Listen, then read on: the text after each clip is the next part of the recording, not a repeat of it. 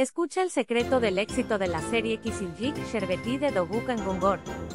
Zlaturkoglu y Dogukan Gungor tuvieron un exitoso proceso de colaboración en la serie Cranberry Sherbet. La primera temporada de la serie ha finalizado, pero el hecho de que los personajes de Fatih y Doga hayan conseguido reflejar diferentes emociones al público es un gran éxito. Los fans de la serie ya esperan con impaciencia el comienzo de la segunda temporada.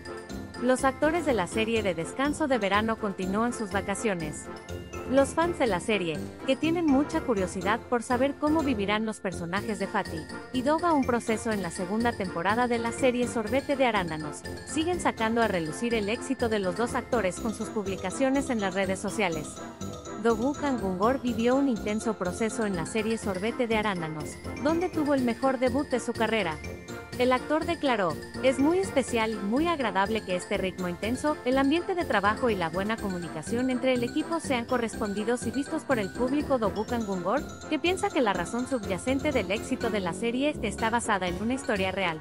Dijo que cuando leyó el guion por primera vez, se dio cuenta de que sin duda encontraría respuesta en el público explicando que también vio partes de su propia vida en esta serie. El actor mencionó que los espectadores también encuentran algo de sí mismos y que contar una historia real es una situación que les hace felices.